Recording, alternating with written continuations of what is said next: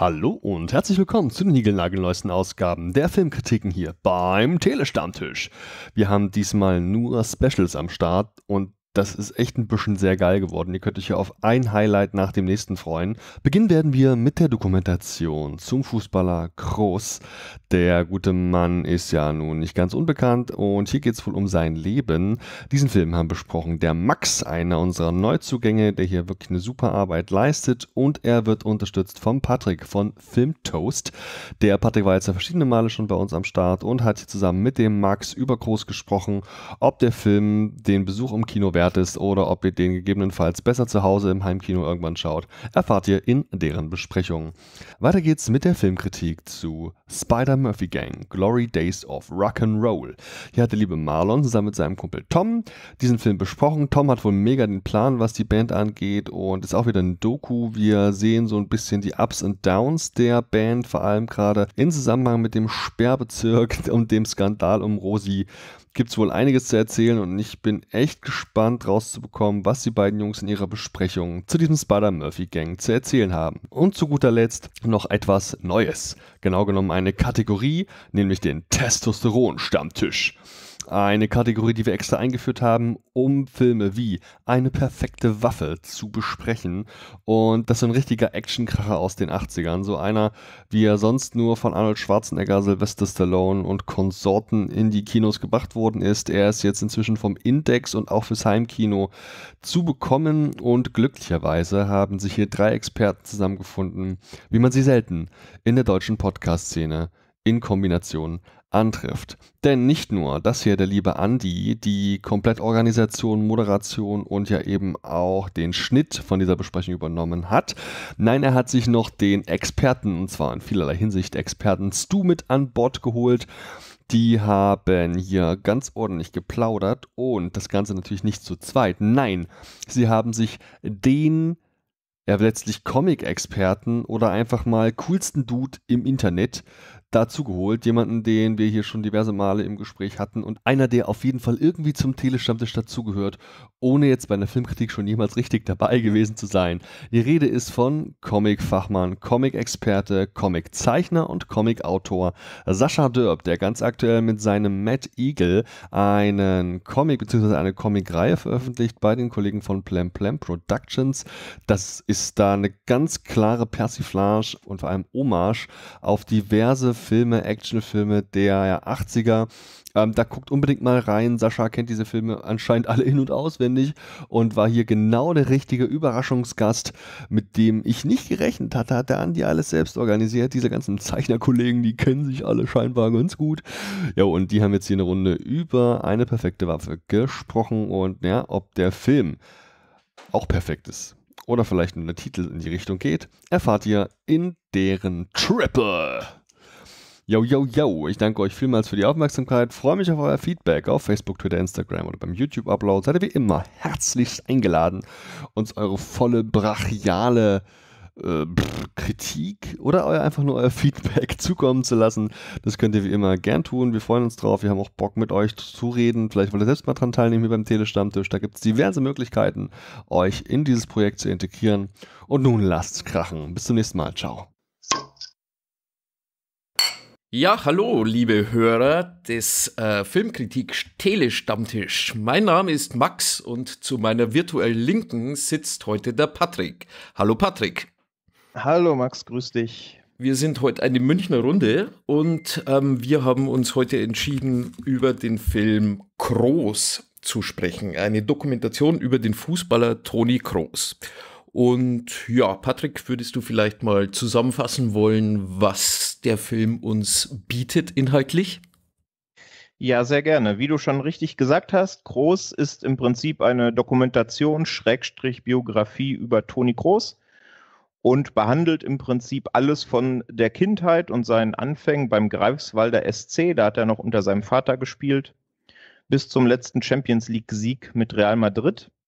Und auf dem Weg dorthin kommen viele Weggefährten von Groß zu Wort, beispielsweise Uli Hoeneß oder Marcel Reif oder auch Robbie Williams und reden eben über ihre Sicht auf Groß als Person und eben auch über seine fußballerischen Erfolge und seine Entwicklung.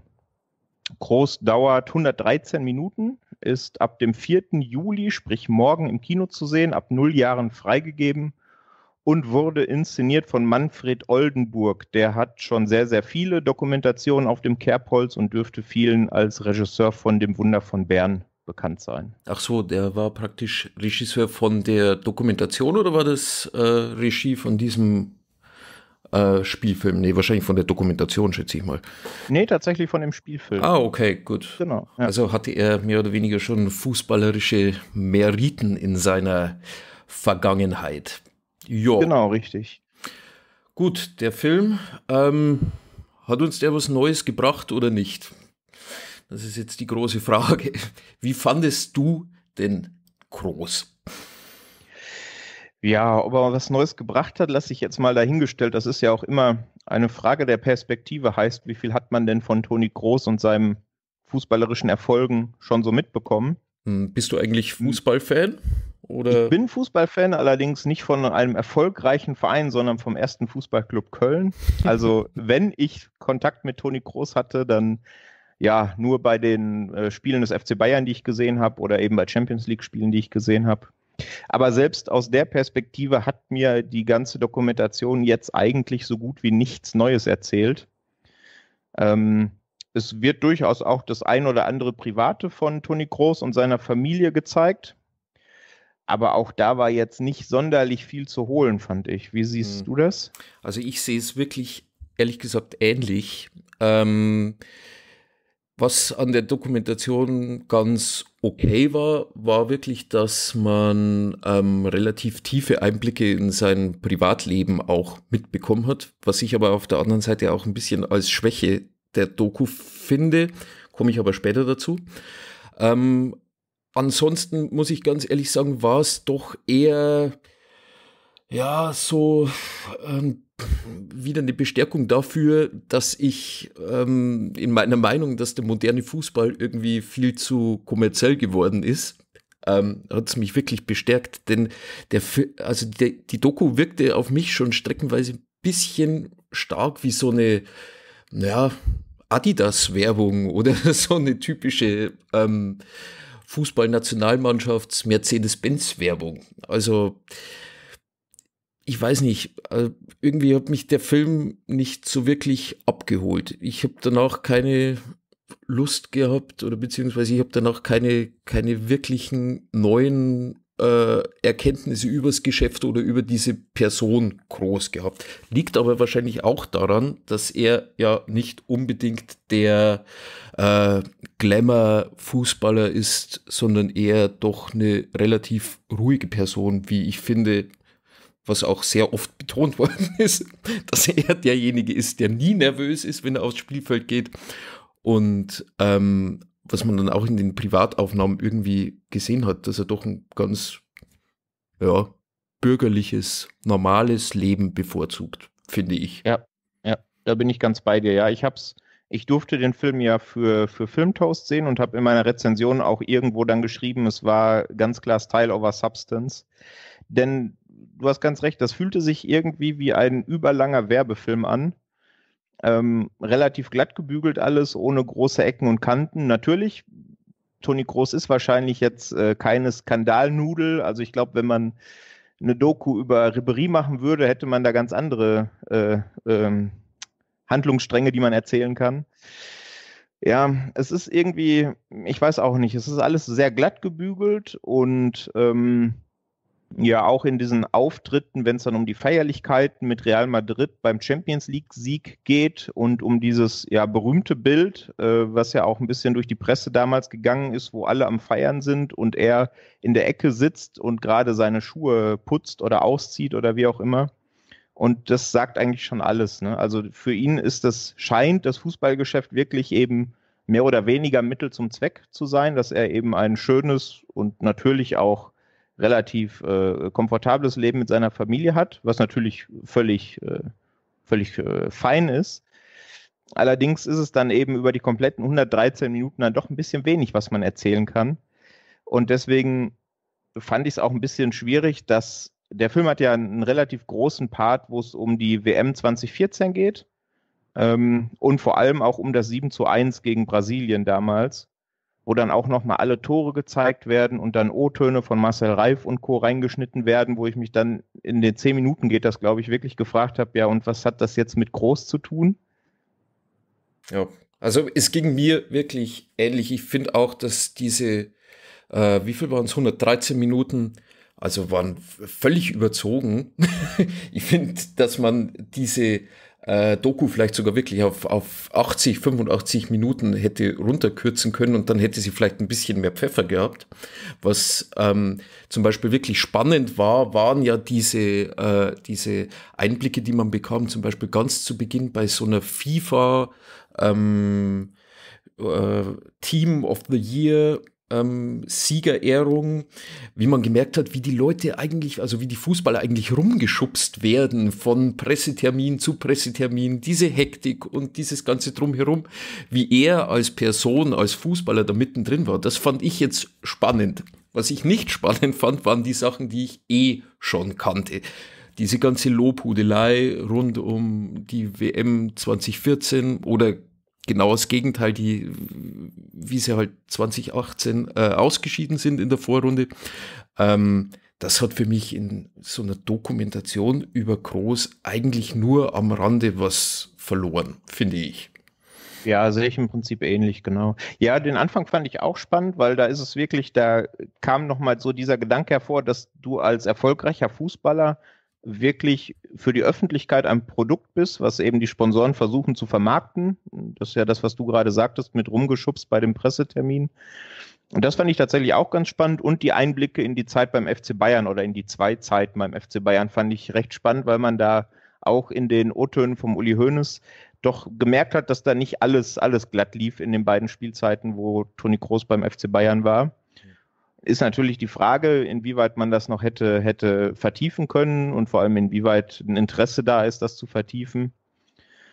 Aber das war so der einzige ja, Eckpunkt, wo es mal ein bisschen spannend wurde, der dann aber leider auch relativ schnell wieder fallen gelassen wurde. Das war für mich eigentlich auch also mit der interessanteste Punkt, vor allem weil sie ja da doch relativ, naja, ich will jetzt gar nicht sagen, sie haben eigentlich versucht nur zwischen den Zeilen zu sprechen, aber eigentlich ist es schon sehr überdeutlich geworden, dass FC Bayern und Groß nie wirklich eine große Liebe war. Und ähm, ja, das war ja damals auch irgendwo die Vermutung, als er dann seinen Vertrag nicht verlängert hat und zu Real Madrid gewechselt ist. Ja, ich denke, ähm, dass der Film so an sich jetzt im Kern von uns ganz gut äh, zusammengefasst wurde. Ich weiß nicht, hast du noch irgendwelche Punkte, Stärken, Schwächen, auf die du noch eingehen willst? Ja, also was, was sehr gut, was ich sehr kompetent umgesetzt fand, war generell äh, ja die ganze Form. Sprich, es war alles in sehr, sehr schönen Bildern eingefangen. Das hat alles gepasst. Du hattest teilweise eben gerade bei diesen Presseterminen so die typische dokumentarische Hektik, die du ja häufig in solchen Dokumentationen hast, aber eben auch gerade wenn es äh, um die Familie ging, eher ruhigere Einstellungen, längere Einstellungen, also so technisch kann man eigentlich der Doku so gut wie nichts vorwerfen, fand ich, außer dass sie vielleicht ein bisschen zu glatt gebügelt war, wollte ich gerade schon gesagt haben. Ja. ja wollte ich gerade sagen, dass sie mir fast ein bisschen zu unpersönlich war. Also ich glaube, man hätte Groß durch jeden anderen Fußballer oder durch jeden anderen deutschen Fußballer vielleicht ersetzen können und hätte in etwa also die gleiche Dokumentation bekommen, weil ja, ich weiß nicht, es war irgendwie kein kein richtiger ja, kein richtiger Unterton irgendwie mit dabei genau. Es ist im Grunde jetzt nichts groß hängen geblieben. Nee, also groß hängen geblieben. Nicht, ja, sehr schön, sehr schön. Ein Wortspiel zum Abend, immer gut. Ja, vor, vor gar nicht allzu langer Zeit habe ich unser Team gesehen, auch eine Fußballdokumentation. Ich weiß nicht, ob du die gesehen hast. Nee. Da ging es um einen brasilianischen Verein, der auf dem Weg zum ähm, Südamerika-Pokalfinale verunglückt ist mit dem Flugzeug und dann quasi die ganze Mannschaft bei dem Unglück ums Leben gekommen ist. Ah, okay. Und da ging es dann darum, wie der Verein mit der Trauer umgegangen ist und wie der Verein neu aufgebaut wurde. Das ist natürlich, natürlich ein anderer Inhalt. Ähm, Allerdings äh, ja, ist da deutlich mehr hängen geblieben und das war auch durchaus etwas, was man jetzt hier nur in den Nachrichten ganz grob mal aufgeschnappt hat. Mhm. Also falls einer auf der Suche nach einer Fußballdokumentation ist und vielleicht nicht unbedingt 120 Minuten Werbefilm für guten Fußball haben möchte, kann er sich gerne unser Team noch anschauen, wenn er den irgendwo im Kino vielleicht noch oder auch auf DVD findet.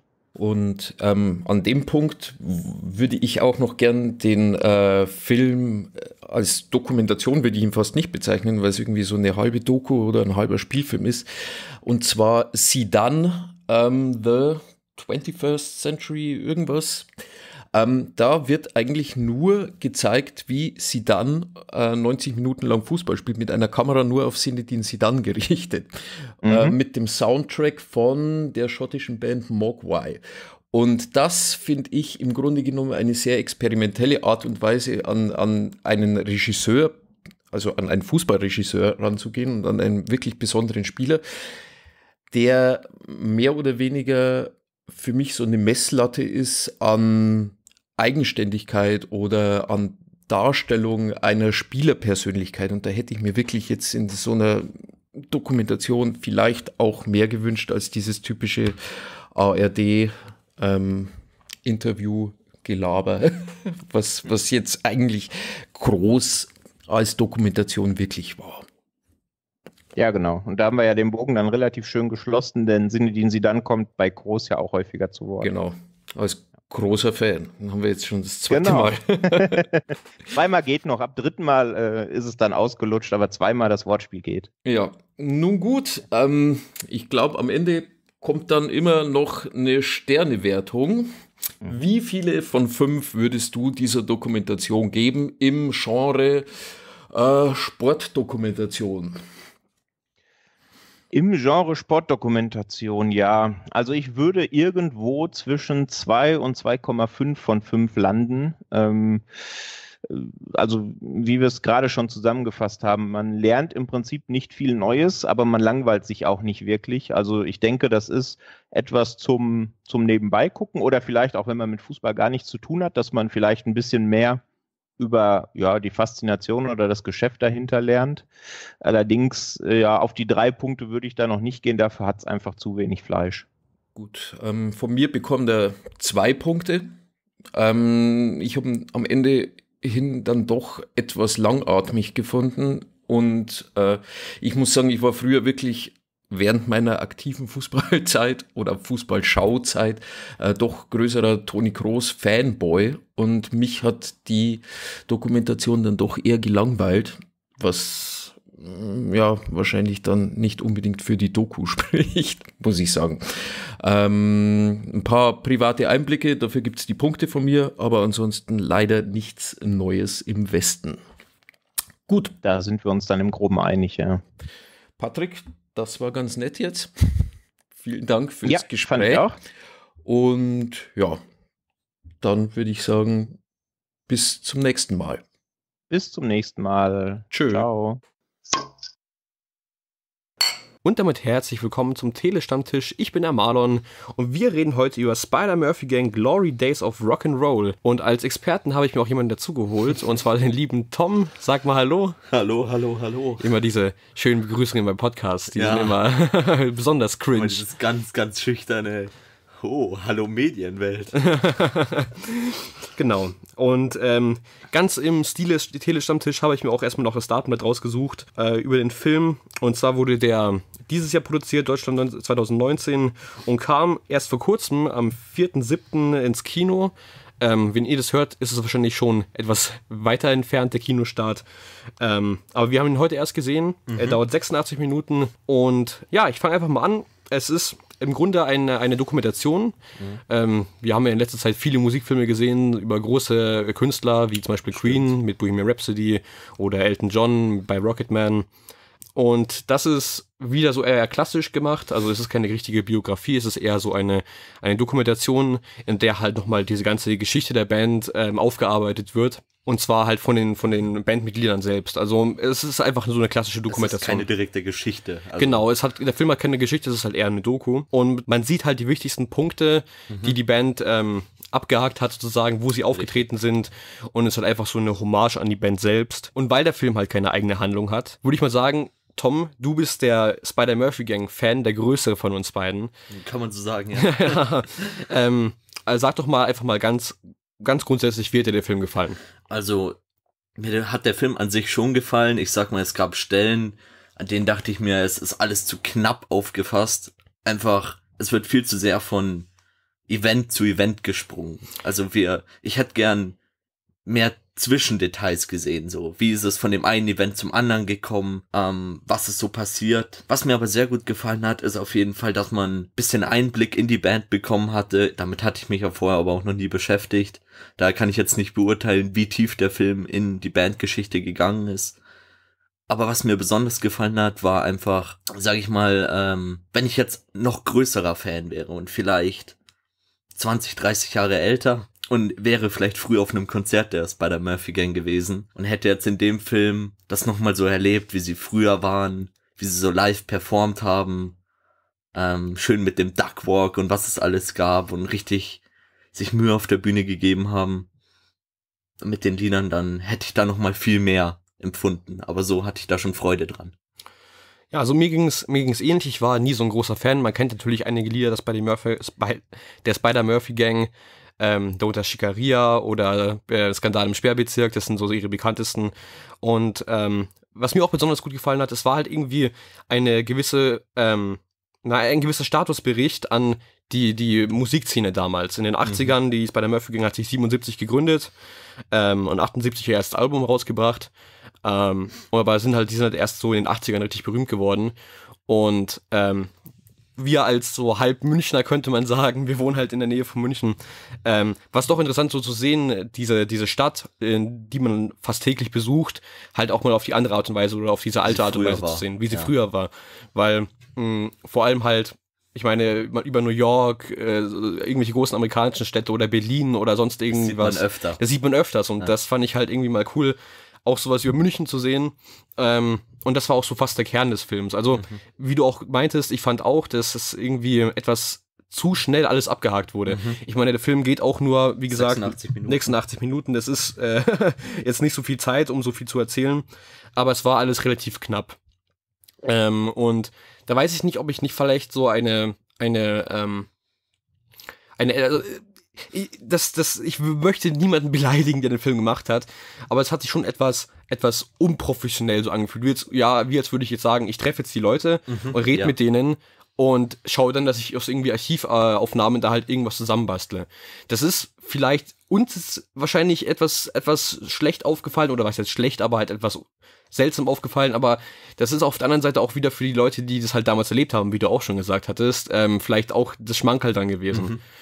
Und ich glaube ganz einfach, dass der Film halt vor allem für, für Fans, für richtige Fans interessant wäre. Und davon gab es ja einige, wie man auch in dem Film mitbekommen hat. Ähm, ich glaube, die hatten mit zwei Pla mit einer Platte hatten sie Gold, ich glaube mit ihrer ersten. Das kann sein, ja. Und mit ihrer zweiten hatten sie Platin, wurde im Film gesagt. Ähm, also gibt es auf jeden Fall auch genug Fans, die sich dafür interessieren könnten.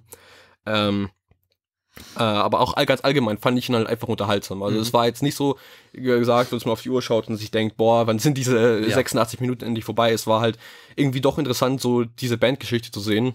Mhm. Und ich kann mir auch vorstellen, dass der, wenn er mal im Fernsehen läuft oder wenn ihr einfach nichts zu tun habt und Lust irgendwie darauf habt, auf, auf diesen Film äh, oder auf einen Bandfilm, dann wäre das auf jeden Fall auch was. Ja, auf jeden Fall. Also, was du eben schon angesprochen hast, finde ich, hast du ganz schön gesagt. Der Film, der hat ja angefangen, da hat man sie in einem Biergarten sitzen sehen. Ja.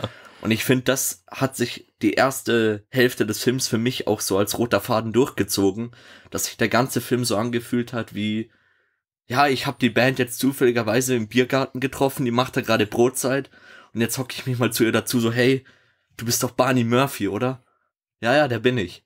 Ja, Wahnsinn dass du hier bist, äh, Wahnsinn. Und dann erzählt er einfach seine Geschichte. Ja. Und so fühlt sich der Film auch an. Einfach so ein, ja, ein, einfach der, der Musiker erzählt von seinem Leben und das gar nicht auf eine richtig professionelle Art und Weise mit mega Recherche dahinter, sondern ich finde, alles hat sich wirklich so frei erzählt angehört. Das stimmt und ähm, ich persönlich... So, wenn du zu deinem Opa gehst, sag ich mal, ja. und erzählst so, hey Opa, wie war es damals in München?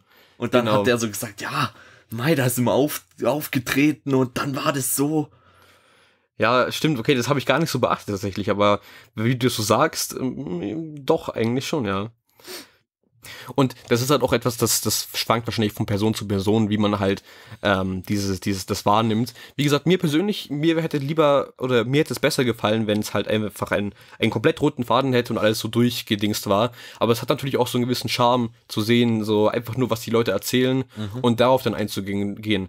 Und darüber habe ich mich noch neulich mit einem Kumpel unter, unterhalten, ähm, wie halt, wie, was man halt, also viele Leute oder der, man kann den Film als eine Biografie sehen Mhm. und ähm, ich habe mich darüber unterhalten, ähm, dass halt viele Biografien an einigen Stellen unvollständig sind, dass man halt auf weniger äh, spektakuläre Sachen weniger eingeht. Das kann sein, dafür habe ich zu wenig Biografien gelesen, aber es würde schon Sinn ergeben. Genau, und äh, also vor allem, weil es halt so direkt vom Künstler kommt. Mhm. Ähm, Du meinst, der hat auch ganz andere Höhepunkte im genau, Kopf als richtig, Fans. richtig.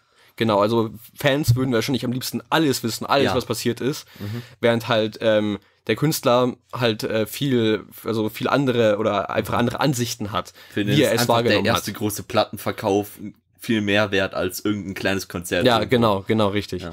Ähm, und das fand ich, oder das finde ich, darüber habe ich gar nicht so nachgedacht und da hast du mich irgendwie eher drauf gebracht, so dass es ja auch, dass man so sehen kann.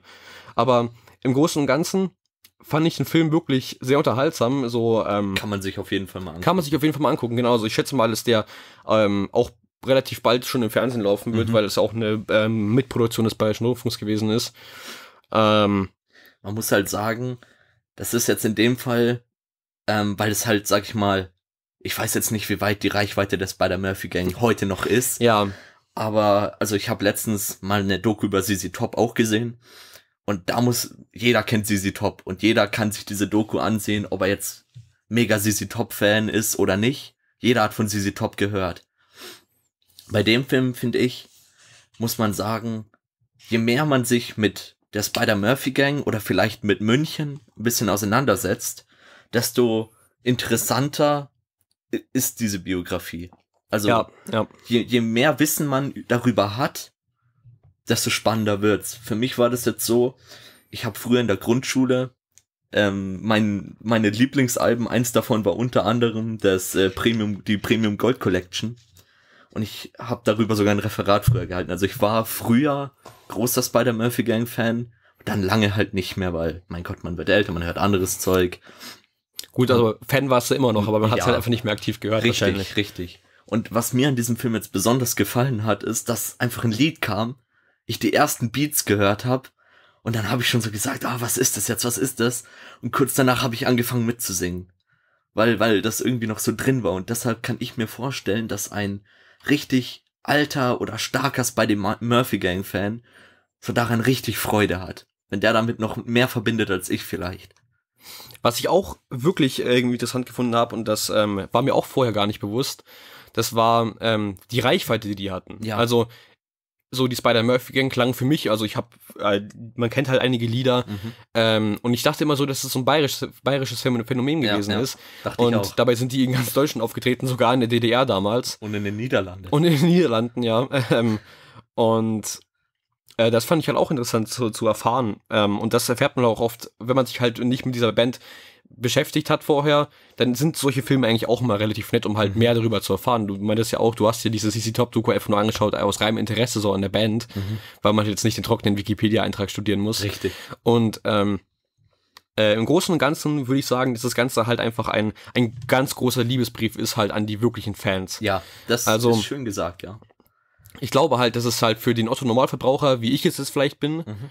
Ähm, du wahrscheinlich auch irgendwie, aber nicht so stark. Vielleicht ein bisschen mehr, du ja. gehörst wahrscheinlich mehr zur Zielgruppe, ja. Dass es halt ähm, so, so, ja, so ein Fernsehding ist, ja. Mhm. Also ins Kino wäre ich jetzt dafür nicht gegangen.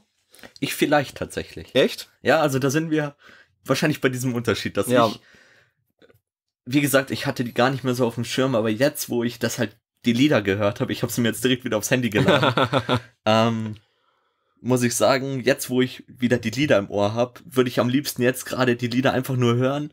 Und wenn ich jetzt wüsste, hey, der Film kommt raus, ich wäre ins Kino gegangen ja, gestern wäre er gelaufen. Wir haben gestern Far From Home gesehen und da ähm, da dachte ich ganz kurz am Anfang bei diesen Trailern, die gelaufen sind, dass wir jetzt im falschen Film setzen. ja. Nee, also, wie du schon sagst, das ist ein, ein Liebesbrief mit, mit gewissen äh, Vorlieben nochmal für Fans. Also Ja. jeder, der ein bisschen Interesse hat, wie du sagst, nicht einfach den trockenen Wikipedia-Artikel, dann ist das schon schön für jeden, der sich für Bandgeschichte interessiert und vielleicht auch mal was Neues kennenlernen will, was, also was Neues, Altes. Mhm. Weil was, was mir so gefällt ist, die kommen ja aus einer anderen Zeit. Da war ja, Ja. Rock, nicht wie Rock heute, sondern es war dieser Blues-Rock, dieser Elvis-Rock, so alles so ein bisschen mehr Swing und es ist einfach, ähm, ja, wenn man so ein bisschen zurückblicken will, wie war Musik früher, Ja. wie waren Musiker früher, wie war die Leidenschaft von Musikern? Und dann ist das einfach geil, wenn alte Musiker von sowas erzählen. Wenn, und das hat mir eben auch gefallen, dass dieser Film altes Bildmaterial verwendet hat. Ja, das fand ich auch total krass, wie Da viel die da hatten. Ja, ich dachte Also auch, vor allem auch solche, solche ganz äh, so random Szenen, so Mhm. dass sie im Auto sitzen und irgendwie rumfahren oder richtig. so. Ich dachte mir, was habt ihr alles gefilmt? Wahrscheinlich ist es im Endeffekt jetzt doch äh, irgendwie nachgedreht worden oder so mit irgendwelchen Laiendarstellern und wir. Ja. nee, das glaube ich aber nicht, nein. Ähm, Was in dem Film auf jeden Fall auch interessant rüberkam, finde ich, war so das Innenleben einer Band. So die, Ja. die, ähm, das Band-Innenleben, das Zusammenleben. Es wurde natürlich jetzt nicht so intensiv beleuchtet Nein, wie nein. bei, bei jetzt anderen Filmen, aber ich glaube auch, dass es so, was man so gehört und gesehen hat, glaube ich, die richtige Entscheidung war, das nicht zu intensiv zu beleuchten. Ja, ähm, ähm, ja, wir haben auch nach dem Film noch lange drüber geredet gehabt, weil halt ähm, bei der Band auch eine Umbesetzung ähm, passiert ist von zwei Leuten, ähm, Mhm. so schon am Ende ihrer großen Erfolgsgeschichte, kann man fast sagen. Ähm, und äh, da haben wir, haben wir auch drüber geredet, dass es halt irgendwie schon eine, eine krasse Unterfangen ist, irgendwie so ein Vermächtnis einer anderen Person zu übernehmen ja. und halt anstatt dieser Person aufzutreten. Äh, vor allem, weil die wahrscheinlich auch halt all die Songs oder die Teile geschrieben hat. Mhm. Ähm, Da bin ich ja dann nur noch Mittel zum Zweck. ja, genau, richtig. Ja. Und das war auch, also es war im Großen und Ganzen, wenn man sich halt irgendwie nur dafür interessiert hat oder irgendwie für die Spider-Murphy-Gang interessiert, ähm, oder halt auch vor allem für, für die Zeit damals, Mhm. wie halt die Musik zustande gekommen ist, wie was diesen, die, die Inspiration für so eine Musik gewesen ist, dann ist es auf jeden Fall ein Film, der wirklich ähm, einen ansprechen könnte und wirklich auch Spaß macht. Also mit 86 Minuten kann man sich das auf jeden Fall schon mal anschauen. Schöner Abend. mal. Schöner Abend, genau, richtig. Macht man sich zwei Bier auf Ja. und äh, genießt mit, mit Zehn Bier, Barney- ich auch zehn Bier. genießt mit Barney Murphy ein, ein, äh, ein paar Zigaretten. ähm, und dann hat, hat man auf jeden Fall Spaß und äh, weiß dann auch mehr. Und vielleicht bringt ihm das ja auch dann die Band ähm, näher. Richtig, vielleicht äh, hört man sie sich danach mal an. Und ich habe mir jetzt auf jeden Fall auch wieder vorgenommen, weil es doch einige Lieder gab, die ich zwar vom Hören kannte, aber nicht wusste, dass sie zum Beispiel von der Spider Murphy Gang sind. Ähm, ich glaube, ich werde mir auch ein paar Handy, äh, ein paar, Ein paar Handys auf die Musik laden. ein paar Handys aufs Musik laden, ein paar Musik auf, ein paar Lieder auf die, aufs Handy laden, genau so. ich hoffe irgendwie, dass vielleicht von dem Film wirklich mehr Leute jetzt wieder die Spider-Murphy-Gang schätzen, wie das jetzt ja doch mit Queen, und- also mit Bohemian Rhapsody und mit Rocketman, es waren zwar andere Dimensionen, aber man hat ja doch gemerkt, dass auf einmal viele junge Leute, auf, die das nicht kannten oder vielleicht in Vergessenheit geraten ist oder man sagt, oh, ich wusste gar nicht, dass das von dem ist, dass die jetzt ein Interesse daran wieder entwickeln, weil es war ja doch eine schöne Band, es hatte tolle Lieder. Gerade so, wenn man aus dem Raum München, Bayern kommt, ist Ja. es auch was Schönes, mal zu sagen, hey, hier gibt's eine Band, die ist groß eigentlich. Und die Bis- kommt aus Genau, meiner verschlafenen hierher. Stadt so ungefähr, ja. Die kommt hierher und schön wär's, wenn jetzt diese Lieder wieder ein bisschen Aufmerksamkeit bekommen. Weil das Ja. haben sie eigentlich verdient. Das haben sie wirklich verdient. Herzlich willkommen beim Telestammtisch. Heute darf ich euch einen Film vorstellen, der am 8. Juli 2019 endlich auf Blu-ray rauskommt. Es ist aber kein neuer Film, aber bevor ich euch erzähle, worum es geht, als ich die Disc bekommen habe, war mir sehr schnell klar, das ist kein Kandidat für ein Singlecast, für eine Einzelbesprechung, sondern da brauche ich Unterstützung. Und zwar eine gute Männerrunde brauche ich da. Deswegen habe ich mir zwei Gäste eingeladen ähm, für eine neue Rubrik hier beim Telestammtisch. den Testosteronstammtisch. äh, genau. Und die zwei Gäste sind in der blauen Ecke. Der Mann, den kennt ihr schon aus dem Telestammtisch und auch vom Movie Break. Der hat schon Bienen gekaut, anstatt Honig zu essen, bevor es cool war. Und schlägt auch schon immer Drehtüren zu. Begrüßt mit mir in der blauen Ecke Stu. Stu. Ah, ja, hallo. Bierchen aufgemacht. Ich freue mich sehr. Willkommen.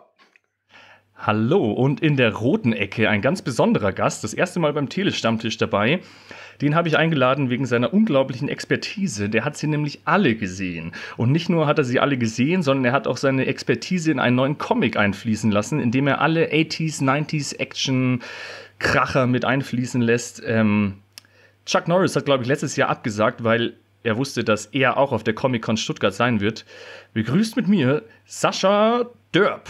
Ja, mach ich auch direkt mal mein Bier hinauf. Schönen guten Tag. Ich hätte mir jetzt aber auch sowas gewünscht, wie dass du sagen würdest, äh, dass äh, Sascha damals, als er ein kleiner Junge war, den Pfarrer belästigt hat und nicht umgekehrt. Aber gut. Ja, ich äh, hatte jetzt diese Chuck Norris Witze-Seite nicht parat, da sind mir nur zwei eingefallen. Ach so, Naja. möchte noch, ich möchte noch kurz erwähnen, dass äh, ich möchte gerne den Moderator des heutigen Castes vorstellen, nämlich die Todeshandkante aus München, den Andi. Yay. Ja, dann mache ich mir auch mal mein Bier auf und ich mache mir mein Bier auf mit einem Meterstab, Oh, nicht weil schlecht. es so männlich ist. Naja, ja, wie schon gesagt, äh, wir sprechen heute einen älteren Film aus den 90ern, eine Action, eine Actionperle, aber bevor wir jetzt verraten, worum es geht. Ja, wir haben uns übrigens schon im Vorgespräch über ähm, 80er, 90er Actionfilme und alles, was dazugehört, irgendwie unterhalten. Und da wir jetzt diese neue Rubrik, den Testosteronstammtisch, für den dann immer so ein geiler Jingle eingeblendet wird, das schneide ich dann, äh, das erste Mal begehen werden, habe ich so ein kleines Quiz vorbereitet, um uns hier so ein bisschen einzustimmen. Und zwar wollte ich kurz äh, durch, durch das Jahrzehnt der Actionfilme äh, führen und habe ein kleines Quiz für euch beide vorbereitet, denn ich würde gerne ähm, für jedes Jahr, zehn Jahre bis wir zu unserem Film kommen, einen Actionhelden zu einem bestimmten Actionfilm wissen von euch beiden. Also ich lese hier mal die Jahreszahl vor und nenne einen Film und dann müsst ihr sagen, wer da der Hauptdarsteller war. Seid ihr bereit? Oh, heilige. Aber ja. Oh ja, gut. Ja, nur mal, um, um eure Expertise so ein bisschen abzuklopfen, ob ihr hier auch richtig seid. Mach mal. Und wir starten im Jahr 81. Was gab's denn da? Ich glaube, hier die Klapperschlange kam da raus. Ähm, aber ich will von euch wissen, wer der Hauptdarsteller in Der Gigant war. Das war natürlich Chuck Norris. das, der ist Chuck Norris, ja. Okay, 1 zu 0 für den Stu. Nein, das machen wir gerade natürlich sehr frei. Ähm, ja, 82 kam natürlich äh, Rambo und Conan raus. Aber ich will von euch wissen, wer war der Hauptdarsteller in Der Bomber? äh, Bud Bud Spencer. Spencer. Oh, das war Gleichstand. Ich Okay. äh, gebe meinen Punkt gerne an den, an den Sascha ab. okay, ja. Ich kann auch mit einem Gleichstand leben. Okay. Bud Spencer gehört zum Allgemeinwissen. Okay, dann kommen wir ins Jahr 83. Da war Bud Spencer auch wieder mit zwei bärenstarke Typen dabei. Dann gab es noch McQuaid, der Wolf natürlich. Und ähm, mal sehen. Aber auf jeden Fall wollte ich von euch wissen, wer der Superfighter war. Äh, Jackie Chan. Hast rein. Ui, das, das hätte ich jetzt tatsächlich nicht gewusst. Mein Jackie Chan-Wissen ist ziemlich dünn. Meins eigentlich auch, aber es hat irgendwie so Klick gemacht bei dem Titel. Ja, Ja, man kann ja so ein bisschen trennen zwischen äh, pralle Action und so ein bisschen Karate-Action. Und ähm, der Film, den wir heute besprechen, deckt ja ein bisschen beides ab, würde ich sagen. Aber kommen wir ins Jahr 84. Da war ja dann hier äh, Terminator auf jeden Fall ganz groß. Fortsetzung von Conan und so weiter. Was Und gab's noch? Ach so, ach so, ich wollte gerade sagen, Terminator ist nicht die Fortsetzung von Cohen. Nein, aber, ja, äh, genau, aber ich, ein bisschen schwieriger wollte ich es machen. Wer war der Liquidator? Charles Bronson. ach, du bist so gut, das ist wahr, ja. Charles Bronson. Richtig. Dann im Jahr 85 äh, Klassiker wie Phantomkommando und das Jahr der Fortsetzungen. Rambo 2, Missing in Action 2, Mad Max 3, Death Wish 3. Aber wer war der American Fighter?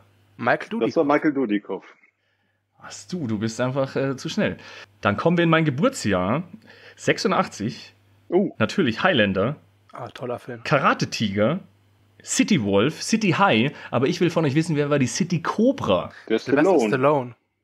Ah, ich glaube, der Sascha war da ein bisschen schneller mit einfach nur Stallone. Ich, ich mache jetzt hier einfach, ich werde mich jetzt so verknappen auf, also ich werde alles Shishi drumherum weglassen, um einfach eine Schnitte zu haben gegen den Kollegen da drüben. Ich glaube, da muss ich mal den Sascha ein bisschen drohen mit einem äh, äh, Zitat aus City Cobra. Du, du bist die Krankheit. Und ich, ich bin die Medizin. Oh yeah. So, dann 87. Äh, zu meinem ersten Lebensjahr durfte ich bereits Predator, Robocop, Lethal Weapons, äh, Lethal Weapon, Master of the Universe, Over the Top und viele andere sehen. Und wer war der Star in Over the Top? Sylvester Stallone der wieder. Ah, ihr seid äh, gleichzeitig gewesen diesmal. Ah, egal, wir, wir machen hier Aber keine... nette, nette Anekdote an dieser Stelle. Ich habe mir den Film äh, Masters of the Universe 1987 mit meinem Vater zusammen am Times Square in New York in einem extrem schmuddeligen Kino angeguckt. Also deswegen verbinde ich mit dem Film auch eine ganze Menge und habe ihn seitdem danach auch nie wieder gesehen. Ich habe äh, Masters of the Universe Anfang der 90er auf RTL gesehen. Das ist eigentlich eine gute Mischung. ja. Kommt doch jetzt bald irgendwie ein Remake, oder? Ja, sie arbeitet Ach, dran, seit- ja. Seit Ewigkeiten, seit Ja. Ewigkeiten. Egal, 1988 hat uns Stirb langsam, Bloodsport, Nico hatten wir auch schon im Vorgespräch. Und dann die Red-Reihe, nenne ich es jetzt mal. Red Heat, Red Eagle, aber wer war der Hauptdarsteller in Red Scorpion? Das war Dolph Lundgren. Richtig. Das war wirklich auch einer der ersten, die ich von dieser, in diesem Genre gesehen habe, komischerweise. Naja. Darf ich mal kurz äh, war- unnützes ja. Wissen einfädeln? Bitte. Äh, wusstet ihr eigentlich, dass Die Hard in der ursprünglichen Fassung eigentlich mal als Fortsetzung von Phantom, Phantomkommando geplant war? Mhm, das habe ich schon mal gehört, ja. Und wenn man genau aufpasst, in der Anfang äh, der Flughafenszene gibt es von irgendeinem Terminal, da steht dieser fiktive südamerikanische Staat, in dem Schwarzenegger in Phantomkommando unterwegs war. Irgendwie was, äh, Dingsbums Werde. Ja, ja, Valverde genau. oder so, genau. genau. Irgendwie, genau, Valverde. Ähm, witzigerweise ist aber äh, Stirb langsam wiederum eine Buchverfilmung, die mit dem Phantomkommando überhaupt gar nichts zu tun hat. Ja, das stimmt. Also es gibt es gibt ja einen richtigen Roman dazu, äh, wo auch, glaube ich, John McClane ganz anders heißt. Na gut, kommen wir äh, äh, langsam zum unserem Film, aber wir sind äh, im Jahr 89. Da gab's Karate Kid 3, Indiana Jones 3, Karate Tiger 3. Ich weiß nicht, warum ich Karate Kid erwähnt habe, der passt jetzt nicht so ganz rein, aber egal. naja, wurscht, aber wer fehlt auf jeden Fall noch in dieser Liste? Wer hat bei Cyborg mitgespielt? Der Jean-Claude Van. Damme. Richtig. Ich glaube, da war der Sascha ein bisschen schneller. Äh, egal. Hat, hat einer von euch eigentlich den, diesen, diesen Recut gesehen? Slinger oder wie der heißt? Nee. Ich muss, Cyborg, das ist, ja? ich muss gestehen, ich habe Cyborg das erste Mal in jungen Jahren irgendwie nachts im Fernsehen auf Vox gesehen und da war einem schon klar, das ist eine verstümmelte Fassung. Und dann habe ich den Jahre später äh, durch irgendwelche Imports halt mal bekommen vom Freund oder ausgeliehen, mir den angeguckt, mich tierisch drauf gefreut und musste dann feststellen, dass ich den ziemlich, ziemlich scheiße finde. Das ist halt jeder, jeder Film von diesem Albert Pune oder wie der Typ ausgesprochen werden will, ähm, der sicherlich, der hat ja als Regieassistent von Akira Kurosawa, glaube ich, begonnen, hat es aber nur geschafft, auf eine beachtliche Vita von äh, merk merkwürdigen C bis D-Movie-Filmen zu kommen. Guter Mann. Naja, einfach mal einen riesen, äh, einen riesen Bogen drum machen um diesen Menschen. Okay, dann äh, wir nähern uns 1990. Total Recall, Die Hard 2, Predator 2, Robocop 2. Aber, wer auch noch fehlt in der Liste, Hard to Kill. Ach, Steven Seagal. Seagal. Ah, wieder Gleichstand. Na gut, dann kommen wir in das Jahr, in dem unser Film erschienen ist, 1991. Natürlich Terminator 2 kam da raus und äh, Showdown in, in Little Tokyo, wollte ich auch noch mal erwähnen, und Der Ritter aus dem All. ja, Aber- mehr Action geht nicht. Ich will von euch wissen, wer ist der Hauptdarsteller in Eine perfekte Waffe? Jeff, Jeff fucking Speakman natürlich. Speakman. Jawohl. Und dann sind wir schon bei dem Film, den wir heute besprechen. Eine perfekte Waffe im Original The Perfect Weapon mit Jeff Speakman. Stu, magst du uns mal kurz erzählen, Ja. nicht worum es geht, sondern die Fakten zusammenkratzen? Äh, ja, der Film kommt äh, jetzt von Studiokanal neu auf, äh, also Neuauflage DVD und Blu-ray raus. Das Besondere ist, dass der Film in seiner Uncut-Fassung jetzt 25 Jahre auf dem Index war und jetzt vom Index runter ist und Uncut ab 16 ist. Äh, er hat eine Laufzeit von 81 Minuten. Regie führte Marc Dissal, der hat zuvor Co-Regie bei Kickboxer mit Jean-Claude Van Damme geführt. Äh, und zum Cast gehört der eben erwähnte Jeff Speakman, Marco James Hong und Dante Basco. Vielen Dank. Bist du baff, ne? Wahnsinn. Ja, Sascha, willst du uns mal kurz äh, zusammenfassen, worum es denn in dem Film so geht? Ja, es ist eigentlich schnell erzählt. Äh, Jeff Speakman spielt äh, Jeff Sanders, der äh, tagsüber Bauarbeiter ist und abends seiner Meisterschaft in der Kampftechnik Ken Po oder so ähnlich frönt und äh, blendet man zurück in die Kindheit, äh, wo gezeigt wird, wie er von zu Hause ausgestoßen wird. Er ist halt so ein Loner, ein, ein, ein jemand, der alleine ist, von einem väterlichen Freund, einem Asiaten quasi aufgezogen oder mit aufgezogen wurde.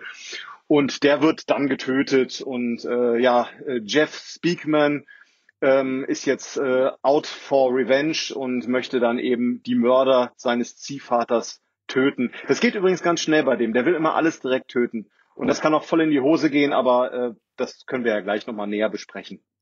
Aber will er denn wirklich immer alle töten? Weil ähm, apropos Uncut und Index und 16, 18er Fassung und so, ähm, ich fand, das kann ich schon mal hier einstreuen, den Film dann doch relativ harmlos, nachdem ich die Geschichte gehört habe, dass er jetzt das erste Mal vom Index genommen wurde und jetzt ab 16 in der Uncut-Fassung rauskommt.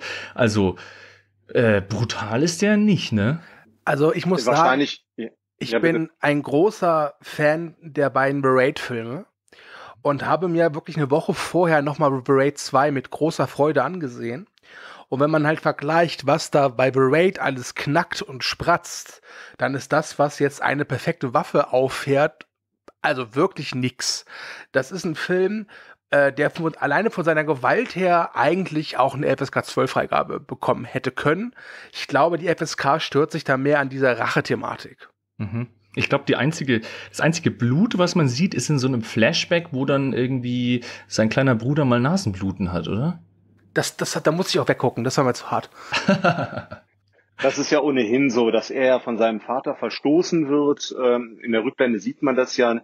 Ähm, er, hat ja ein, ein, ein, ein, aufbrausendes Temperament anscheinend. Äh, er bringt es leider, also der Schauspieler Jeff Speakman bringt das nicht so gut rüber, weil er wirkt in sich sehr ausgeglichen und diese aufbrausenden Momente nimmt man ihm, wie ich finde, nicht so wirklich ab.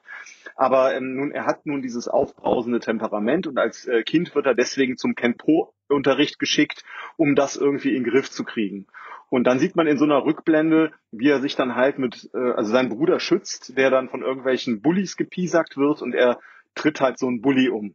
Der bringt ihn nicht um und der bricht ihm nicht irgendwie das Rückgrat, sodass er querschnittsgelähmt ist, sondern der fällt einfach nach hinten auf den Hintern.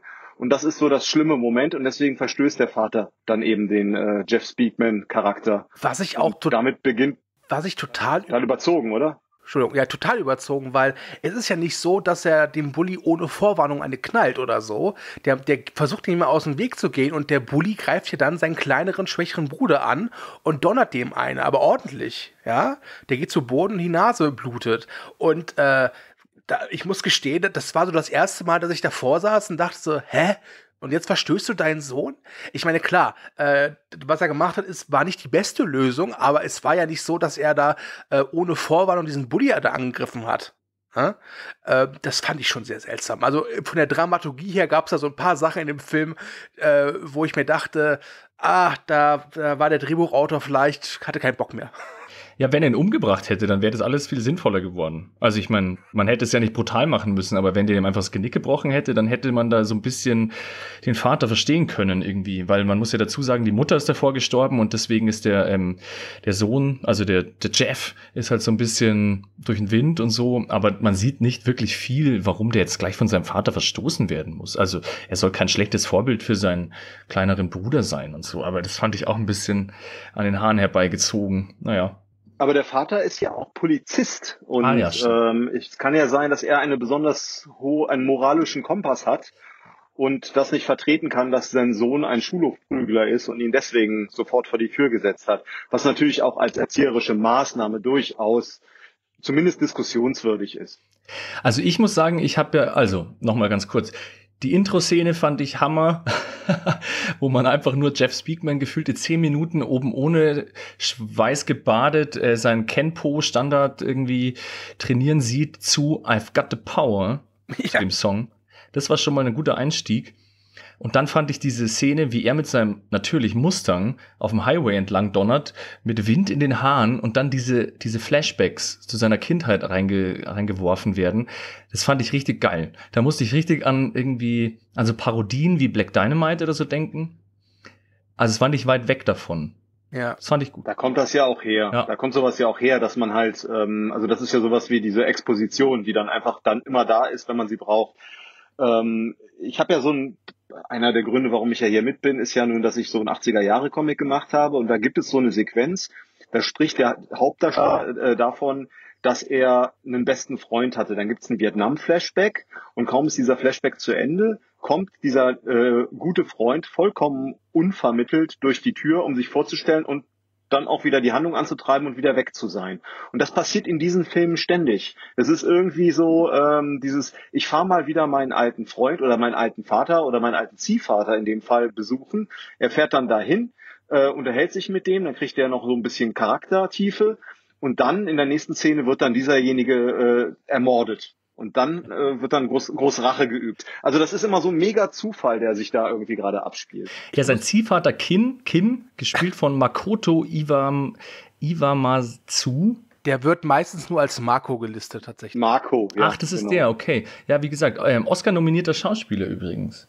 Fand ich äh, ganz schön. Also, ja, keine Ahnung, das ist halt so dieser typische Ziehvater, Mentor. Fand ich total gut ich muss gestehen, dass dieser Marco oder diese Figur des Marco wirklich einen Moment hatte, wo ich wirklich laut loslachen musste, weil ich es wirklich amüsant fand. Kurz zur Erklärung, also Jeff kommt halt nach ein paar Jahren wieder zurück und kommt rechtzeitig, denn die koreanische Mafia will halt irgendwas von seinem Ziehvater und als guter Ziehvater sagt natürlich nein, ich will mit euch bösen Gangster nichts zu tun haben. Daraufhin kloppen die den Laden zusammen und daraufhin kloppt Jeff die bösen Gangster zusammen. So. Und dann reden die beiden, also Ziehvater und Jeff miteinander. Und dann sagt sein Ziehvater irgendwie, ja, ich gehe da morgen mal hin zu den bösen Gangsters und rede mit denen. Die werden das schon verstehen. Und ich dachte mir, was? oh ja. ja, genau, die, die koreanische Mafia will nämlich mit seinem, also Kim hat so ein kleines Geschäft mit Antiquitäten und die wollen halt seinen, seinen kleinen Laden irgendwie als Drogenumschlagplatz nutzen. Und er sagt halt, nö. Und er meint, er kann das. Macht ja auch mega Sinn. Macht ja mega Sinn, ein Antiquariat oder ein Antiquitäten Laden als Drogenumschlagplatz zu nehmen, weil da ja auch immer so viele Jugendliche rumhängen. Also, ne, das ist auch wieder so, da habe ich mich ganz, ganz groß am Kopf gekratzt. Ja, und, äh, naja. und dieser Ziehvater wird ja dann auch ermordet und wenn man äh, in der offiziellen Synopsis steht, der alte Mann wird brutal ermordet. ähm, eigentlich nicht, weil Jeff kommt ihn dann, also sieht halt dann äh, nachts, oh, es wurde eingebrochen und geht nach oben und dann liegt der alte Mann halt mit der, mit der Blume auf dem Bett. Und das ist so der brutale Mord. Ja, das passiert ja offscreen, aber da kann man auch noch mal hier Charles Kalani Jr. erwähnen. Äh, Wrestler, aber auch Schauspieler, zum Beispiel aus Running Man natürlich. Ja, besser bekannt als Professor Tanaka natürlich. Also das ist ja hier der, der bullige äh, äh, asiatische Wrestler, der mich so ein bisschen erinnert hat an den äh, Typen aus James Bond. Äh, dem James ja, Bond. Ocho. Ja, genau. Das war er nicht, genau. Ja, ja. Ja, ein Last Action Hero genau, Das war er nicht, aber ja. ja, genau. Das ist so, aber da spielt er, glaube ich, auch nur so einen, einen Typen im Hintergrund. Bei Running Man spielt er, glaube ich, einen. Sub-Zero. Der, ja, Sub-Zero. Da spielt er einen der Killer, richtig. Ja, geiler Typ auf jeden Fall. Und das ist halt so der bullige Mafia-Killer, der dann immer mit seiner kleinen Blume die Leute irgendwie markiert, nachdem er ihnen irgendeine Kopfnuss gegeben hat, die dann zum Tod führt. Ich hatte das so ein bisschen an. Was auch wiederum meiner Meinung nach ein Problem ist, Entschuldigung, äh, dass ich jetzt gerade mal kurz aufgreife. Der Typ ist halt so ein Bodybuilder-Wrestler-Typ und der tritt halt als der Superkiller gegen Jeff Speakman an, der halt äh, die meiste Zeit oben ohne rumläuft, was er sich auch durchaus leisten kann, aber eher so wirklich der äh, Martial Art Kampfsport-Experte ist. Das ist also auch so, als würde man irgendwie äh, so ein ja so, so, ein, so ein Berg mit einem Baum kämpfen lassen irgendwie. Also ich, ich fand, das hat irgendwie auch nicht so richtig gepasst. Ich muss, ich muss allgemein zu, der, zu den ganzen Kämpfen sagen, also der, der Jeff Speakman, der kann Kenpo, kann man nicht anders sagen. Aber ich hatte ein großes Problem. Ich fand einfach, der hatte keine Leinwandpräsenz, um es mal so auszudrücken. Äh, da kam bei mir nichts rüber. Also äh, die, die, die Kampfszenen waren, ich fand schon, dass sie so ein bisschen auf Realismus getrimmt waren. Also es wurde jetzt nicht zu viel rumgehampelt und es wurde schon eher auf, ich sag mal, Effektivität gesetzt.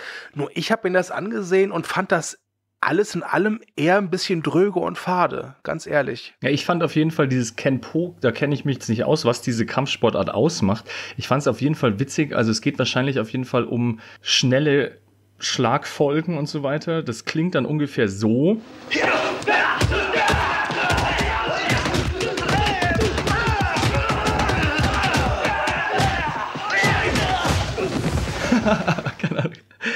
ist auf jeden Fall ein ganz schönes. Ich war schon ganz Es ist auf gespannt. jeden Fall ein ganz schönes Geballer. Und ähm, ja, er ist halt einfach immer so, so ein bisschen der, der Sunny Boy und sehr charmant und so. Und ich fand auch, dass er dadurch, dass er auch so aufgebaut wird, er hat so einen überquillenden Charakter und so ein Temperamentsproblem und so. Der sollte da schon irgendwie so der Sunny Boy und sympathische Hauptdarsteller sein. Das fand ich auch ein bisschen langweilig.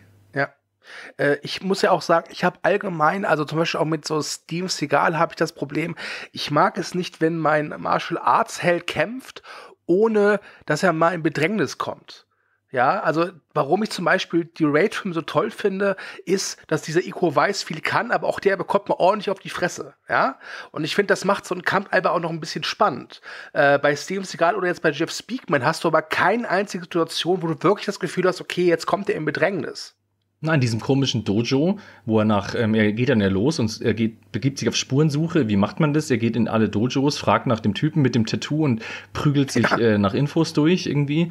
Und da wird er schon mal ein bisschen zerhauen. Aber dann haut er zurück. Ja, aber nicht, nicht so richtig. Also, weiß nicht, das hat mich, wie gesagt, alles eher kalt gelassen. Und ich will jetzt mein Fazit nicht vorwe vorwegnehmen. Ich fand, das war jetzt kein schlechter Film. Der hatte schon so nostalgischen Charme, aber es ist jetzt kein Action-Kampfsportfilm, den ich mir in einem Jahr oder so nochmal angucken möchte. Du, du hast aber gerade Steven Seagal angesprochen und ich finde tatsächlich krankt der Film auch äh, an, dem, an demselben wie auch die Filme von Steven Seagal, nämlich daran, dass jemand, der durchaus ein erfahrener Kampfsportler ist, nicht zwangsläufig äh, eben über Leinwandpräsenz äh, verfügt und über die ähm, Möglichkeiten, diese Kampfsportart so auszuüben, dass die auf der Leinwand auch nach mehr aussehen. Das ist ja irgendwie das, das Interessante bei so bei diesem Kampfsport. Also eigentlich siehst du kaum, was, dass da was passiert und dann liegt einer auf dem Boden und äh, es ist auch eine Frage des Regisseurs, der sich meiner Meinung nach jetzt, also der Marc Dissal hat sich da jetzt auch nicht gerade mit Ruhm bekleckert, ähm, war jetzt ja auch nun erst sein zweiter Film. Ich glaube, einen hat er noch gemacht und das war's. Ähm, man merkt schon, dass da jetzt irgendwie mehr drin gewesen ist. Ähm, aber es kann auch durchaus sein, dass Jeff Speakman gesagt hat, pass mal auf, ich bin so gut in Ken Po, das sollen auch alle sehen. Und das kann jetzt nicht im Schnitt entstehen, wie jetzt zum Beispiel die heutigen Kampfsportfilme alle entstehen. Ich finde, man kriegt von dieser ähm, Ken Po-Sache nicht so viel mit, weil für das, dass er jetzt wohl der Obermeister in Ken Po ist und ähm, wirkt es eher für mich wie so ein Bud Spencer-Film. Also der haut halt viel und schnell und es kracht auch ordentlich, aber ich hatte nicht das Gefühl, als wäre jetzt, als würde da diese die Spezialität dieser Kampfsportart oder diese filigrane Technik oder so äh, herausgearbeitet werden, sondern die ballern sich halt einfach ordentlich aufs Maul. Aber ich habe da nichts gesehen, wo ich sagen würde, ah, das ist jetzt also Ken Po. Also nicht so wie bei Drunken Master oder so, wo du äh, so einen Stil erkennst. Es war da eigentlich so Bud Spencer in schnell. Also der ballert die Leute halt weg einfach. Ah, ist ja auch egal. Fand ich geil. Was ich, was ich, Also da werden jetzt, da werden jetzt Ken Po-Jünger anrufen und Ja. sich beschweren, glaube ich. ja. Können Sie gerne machen. Beschwerden gehen an andi.telestammtisch.de. Oh, Äh, oh. Was mir hingegen ganz gut gefallen hat, war wirklich diese konzentrierte Erzählung des Films. Also sobald halt äh, sein Ziehvater tot ist, äh, sind die meisten äh, Rückblenden ja auch dann abgehakt und dann, dann sehen wir noch mal kurz seinen Bruder, ja, der ja Polizist ist. Ähm, aber der Film bleibt trotz allem sehr konzentriert. Also es gibt kaum wirklich sowas wie eine Love Story. Es gibt ist ja auch wieder so äh, eigentlich das äh, gängige Klischee, dass der Held dann auch irgendwie mit einer Frau irgendwie anwandeln muss, so die Damsel in Distress und das spart der Film sich größtenteils tatsächlich. Das fand ich aber ziemlich witzig, dass es halt so angedeutet wird und ich dachte schon nach der Lauflänge von 80 Minuten oder so, hey, in dem Flashback im ersten sieht man doch, wie er trainiert und sich da so ein bisschen in dieses kleine Mädel verguckt. Die sieht er dann später auch noch auf der Beerdigung und dann nochmal im Dojo. und sie hat keine Sprechrolle. Ich dachte die ganze Zeit, irgendwas passiert da noch. Also irgendwas wird da noch sich anbahnen oder so. Aber nee, die taucht halt dreimal auf und schaut irgendwie, schaut ihn an. Aber die hat ja wirklich überhaupt nichts zu tun in dem Film. Fand ich ganz lustig. Vielleicht ist das rausgeschnitten worden. Also das kann ja auch sein, dass das jetzt irgendwie, dass der Regisseur gesagt hat, wir fokussieren uns jetzt mal auf diese Rachegeschichte, die ja nun auch nicht so richtig funktioniert. Und ich hat voll so gewirkt. Genauso hat es gewirkt, Entschuldigung. Äh, das, als hätten sie da eine Story gehabt, die haben sie aber komplett rausgeschnitten, weil wieso haben sie es sonst überhaupt reingenommen. Ich glaube aber, das war die beste Entscheidung, weil äh, Jeff Speakman mag vielleicht ein netter Kerl sein, der auch super in seinem Kenpo ist, aber wie ich schon gesagt, der hat keine Leinwandpräsenz. Und wenn ich mir jetzt vorstellen muss, dass ich dann nochmal 10 Minuten Love-Story drauf, oben drauf bekomme mit ihm, ah, das hätte, das hätte dem Film nicht gut getan. Im schlimmsten Fall passiert einem dann das, was passiert ist bei Steven Seagal und äh, Hard to Kill, dass der dann da so mit seiner, also er hatte eine Sexszene mit, mit, ich glaube, das war seine damalige Frau, die ich ja damals auch sehr begehrte. Kelly D. Brock. Äh, die Frau, Frau in Rot, genau, Kelly D. Brock, äh, die Lisa der helle Wahnsinn gespielt hat. Und dann hat halt dann der äh, Steven Seagal Schränk geschrieben mit ihr dann da gemacht. Also das war wirklich grauenhaft. Deswegen ein Hoch äh, an diesem Film, dass das nicht passiert ist. Auf der anderen Seite haben wir hier so eine Figur des kleinen Jungen, aus der ich nicht richtig schlau geworden bin, der Jimmy, hm. Hm. Äh, der glaube ich von Dante Basco gespielt wird. Äh, was sollte das? Also der war ja wohl auch nicht der Sohn von äh, dem Ziehvater, sondern wohl auch der Ziehsohn. Und jetzt wird's irgendwie, finde ich, merkwürdig, dass so ein Ziehvater viele Ziehsöhne hat. Oder Mündel, wie man so schön sagt. ich glaube einfach, naja, das war vielleicht gerade in zu der Zeit, oder? War da nicht irgendwie, also Indiana Jones 2 war ja auch schon ein bisschen länger her da, aber irgendwie hat mich das an so andere Filme erinnert. Außerdem war dafür gut, so ein paar äh, lustige Sprüche zu klopfen.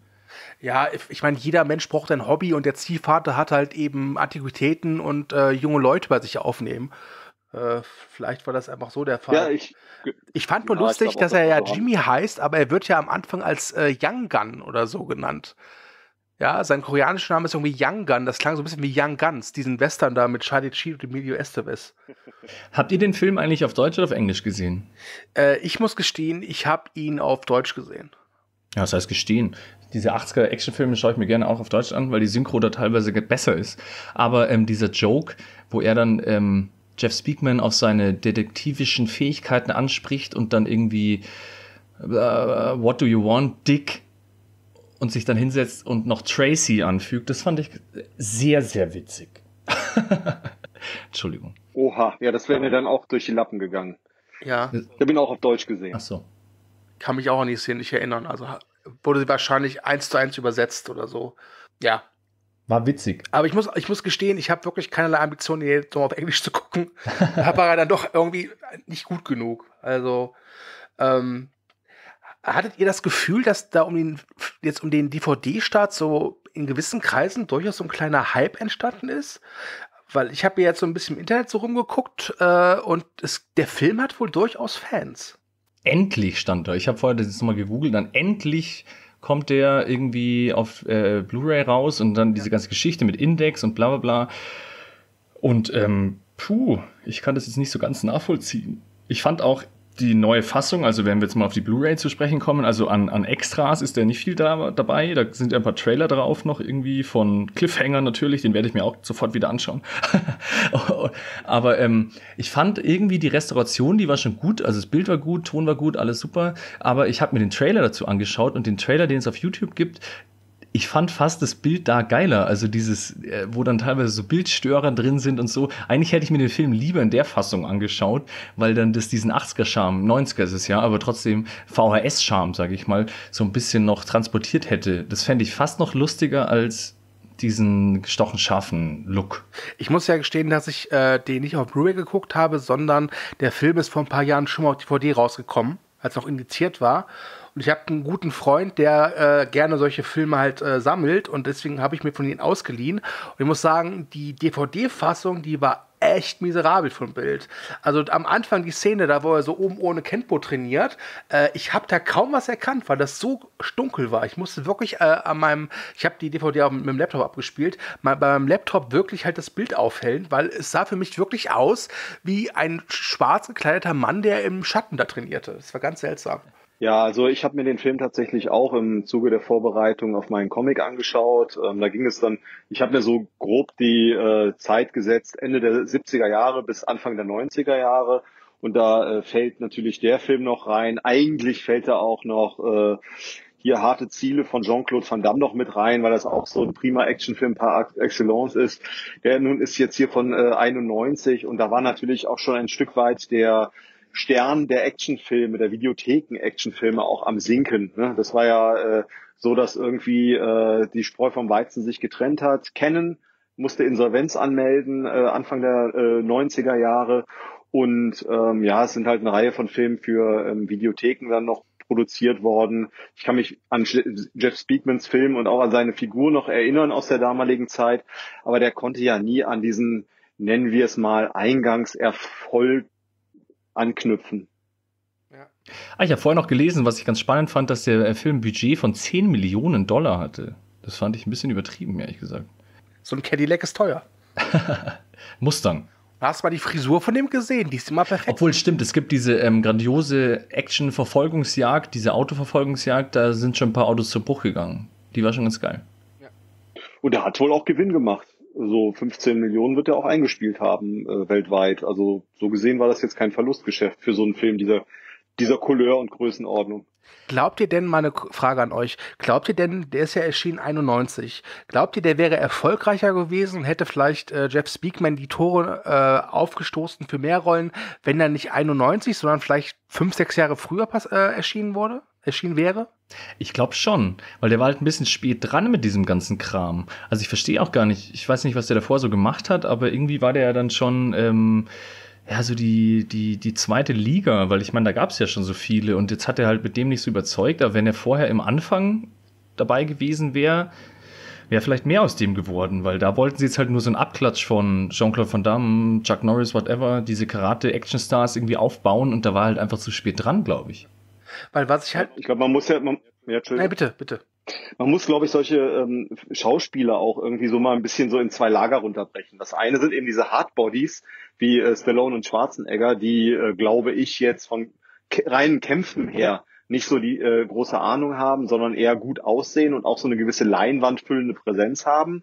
Und das andere sind dann wirklich so die Leute wie Steven Seagal, Chuck Norris und eben auch Jeff Speakman, die äh, durchaus in der Lage sind, ihr Bein über den Kopf zu heben und sich schnell zu bewegen, Schläge zu parieren und auszuteilen. Ähm, und da ist, glaube ich, der Markt ganz schön abgegrast gewesen, auch zu der damaligen Zeit. Ähm, wir hatten es aber im Vorgespräch, es wurde immer wieder versucht äh, und es wird immer, immer noch äh, immer wieder versucht, Leute aus dieser Martial Arts Szene in die Filme reinzuhieven, so dass sie nach ihrer beendeten Karriere dann doch noch so eine Art Gnadenbrot in Hollywood irgendwie verdienen können. Ja, ähm, wir haben im Vorgespräch, habe ich äh, Steven Seagal erwähnt der mit Jeff Speakman eine Gemeinsamkeit hat, nämlich äh, Steven Seagal, ich glaube, es war im Jahre 88, hatte ja auch noch nie einen Film gedreht und hat sofort dann für Warner die Hauptrolle in Nico bekommen. Äh, ich glaube, Steven Seagal, den ich jetzt von der Leinwandpräsenz auch eher schwach finde, hatte aber im Gegensatz zu Jeff Speakman den Vorteil, dass er vor allem zu Beginn seiner Karriere äh, mit Regisseuren gearbeitet hat, die ihr Handwerk, glaube ich, besser verstanden haben. Also Nico ist ja von Andrew Davis gedreht, der mit ihm dann später auch Alarmstufe Rot gemacht hat. Ähm, das sind alles sehr gute Actionfilmregisseure. Ich möchte jetzt Mark Design nicht zu nahe treten. Ich mag seinen Kickboxer. Ja, den mag ich wirklich sehr. Hammer. Aber das liegt hauptsächlich an Jean-Claude Van Damme und seiner legendären äh, Tanzszene. Ne? Ja, äh, kennst du den äh, diesen Breakdance-Film von Canon zufällig, wo äh, Jean-Claude Van Damme im Hintergrund Statist ist und auch schon so tanzmäßig abgegangen ist wie Schmidts äh, Katze? Breaking oder so? Äh, Breaking, ich habe ihn nicht gesehen, aber ich kenne ihn halt von dieser grandiosen Dokumentation Electric Boogaloo, die ich ja. jedem empfehlen kann, der so ein Herz für 80er Jahre Film und Canon hat. Äh, muss man sich angucken. Ganz grandiose Dokumentation. Was mich bei dem Film hier, Perfekte Waffe, noch irgendwie einerseits gefreut, andererseits auch ein bisschen enttäuscht hat, war zum Beispiel auch noch der Auftritt von Carrie Hiroyuki Tagawa. Den mag ich auch sehr gerne. Äh, hier aus Mortal Kombat zum Beispiel. Das ist ja so auch so der typische Bösewicht die ganze Zeit. Und der hat hier, der wurde hier ein bisschen verheizt. Also irgendwie, der, der, der hatte kein, keine große Rolle irgendwie, aber den mag ich so gern. Und ich habe mich so drauf gefreut, den zu sehen. Aber der war ja wirklich nur einer von vielen Bösewichten und hatte, glaube ich, am wenigsten Screentime. Weil hier James Hong, dieser Typ, der, der Strippenzieher aus Blade Runner und so, gibt, gibt's, kennt man den ja auch. Also es waren schon ein paar bekannte Schauspieler dabei, sage ich jetzt mal. Man muss halt dazu sagen, das waren halt die Schauspieler, die halt zu der Zeit immer angerufen wurden, wenn es heißt, wir brauchen asiatische Bad Boys, ne? Ja, äh, genau, stimmt. Stimmt, da, fehl, da, da, da fehlt jetzt eigentlich noch der, jetzt habe ich den Namen nicht präsent, äh, der Kollege, der auch bei Big Trouble in Little China dabei war, bei Die Hard 1 dabei gewesen ist. Oh, wer fehlt, ist äh, Bolo Choing, oder wie der heißt, der bei Bloodsport mit dabei war. ja, das wäre auch schön Ja. gewesen. Über den hätte ich mich auch sehr gefreut. Naja. ja, ich glaube, dann ähm, zu dem Film. Vielleicht kommen wir einfach mal zum Fazit, oder?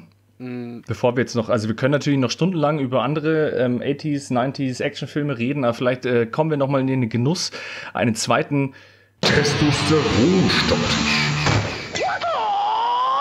abzuhalten. Gerne. Da geht's dann weiter. Aber für diesen Film, glaube ich, äh, kommen wir mal zum Fazit. Wir haben eigentlich eh wenig über diesen Film geredet, sondern über andere Filme mehr. Aber Was, glaube ich, schon die perfekte Aussage über diesen Film ist, oder? ja, stimmt. Ja, kommen wir mal zum Fazit. Stu, magst du anfangen? Äh, ja, ich fand, das war ein ah, schon für seine Zeit solider äh, Kampfsport oder Martial Arts Film, äh, der aber sehr daran krankt, dass halt Jeff Speakman keine wirkliche Leinwandpräsenz hat, dass die Action-Szenen routiniert, aber wirklich, also denen fehlte der letzte Bums, ja.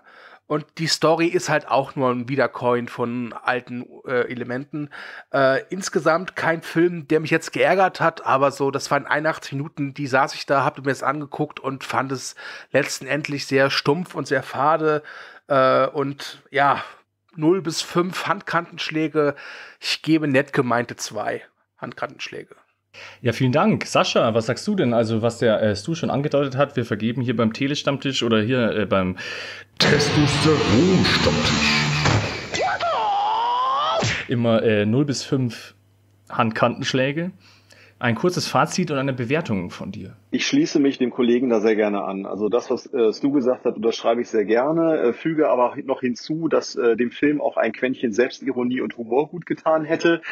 Ähm, als der Film begonnen hat, also als die beiden Brüder zusammengekommen sind, da gibt es eben diese Sequenz, wo dann eben der, der jüngere Bruder, der damals das Nasenbluten hatte, jetzt mittlerweile Polizist ist und in dem Fall dann auch ermittelt, oh Zufall, ähm, ähm, als das dann so zustande gekommen ist, habe ich gedacht, oh, jetzt könnte sich daraus ein interessanter Buddy-Movie entwickeln. Und parallel dazu ist ja auch der Film Showdown in Little Tokyo entstanden, der um ein Vielfaches witziger, spannender und besser ist. Äh, mir fehlte einfach die, auch zusätzlich zu dem ganzen handwerklichen Kram und der mangelnden Leinwandpräsenz äh, von Jeff Speakman fehlte mir einfach auch das Quäntchen Humor. Also würde ich sagen, auch gut gemeinte zwei Handkantenschläge. Okay, vielen Dank. Ja, ich schließe mich auch an. Also äh, der Film als Film an sich fand ich ihn auch relativ fad und halt natürlich ähm, Standardware, was dieses Genre angeht.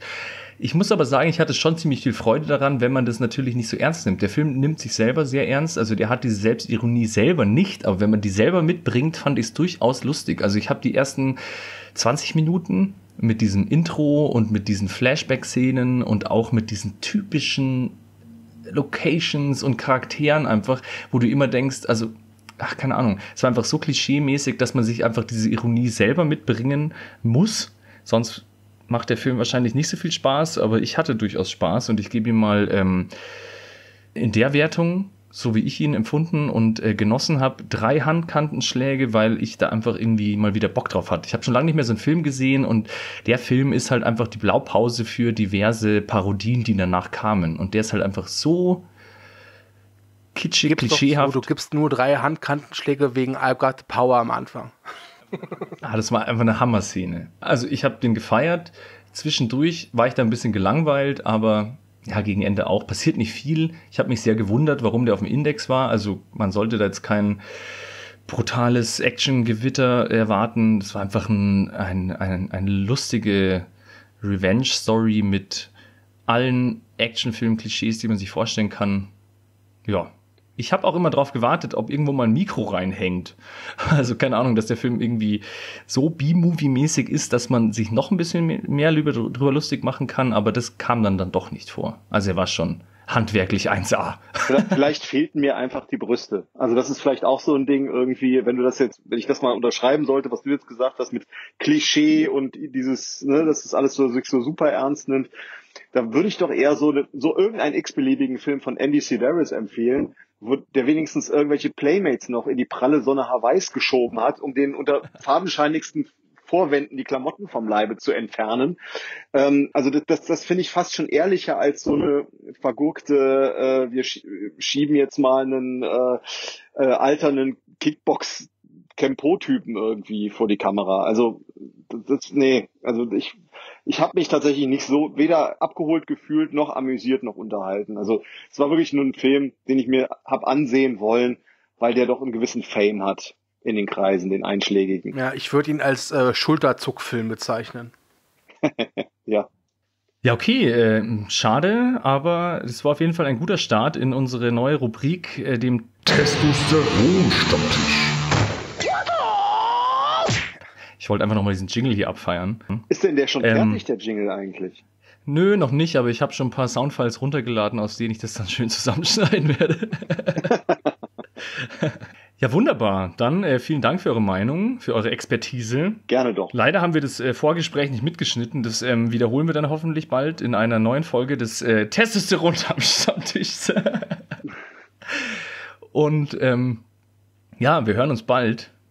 Macht's gut und bis zum nächsten Mal. Äh, dürfte ich noch kurz was zwischenschieben? Ja, auf jeden Fall.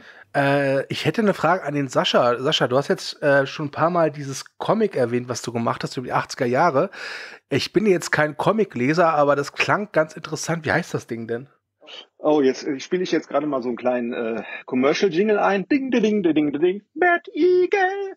Okay. Ähm, ja, der, der, Comic, der Comic hat den Namen Mad Eagle, ist äh, jetzt vergangenen Samstag auf dem äh, auf der Comic-Con Stuttgart erschienen und ist vielleicht so, wie du dir, dir am besten eine lesbare Videokassette vorstellst. Äh, ist auf schönem, ollen, vergilbten Papier gedruckt, sieht aus wie aus den 80er Jahren, hat ein Cover wie eine Videokassette. Also mir ging es ja genauso wie dir. Du stehst da lugst in den verbotenen Teil der Videothek und siehst einfach diese unfassbar geilen, also das Artwork der VHS-Videokassetten.